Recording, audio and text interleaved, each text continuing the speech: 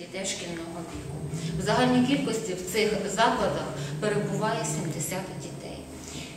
Отже, ми звертаємось до е, кожного тернополянина, кожного громадянина е, з проханням взяти участь в благодійному марафоні з милосердя разом. Допомога може бути у вигляді в різній формі. Це може бути і адресна. Тобто, якщо є в когось бажання допомогти одній сім'ї, можемо дати адресу, будь ласка, можна дати. Це може бути е, якась організована допомога, компактна, комплексна. Ми можемо направити вас в дитячий будинок, де потрібна допомога чи продуктами харчування утром. Якщо врахувати, зараз у нас починається такий зимово-осінній період, коли стоїть нагальна потреба, щоб дітей одягнути. І є потреба в одязі, в взутті.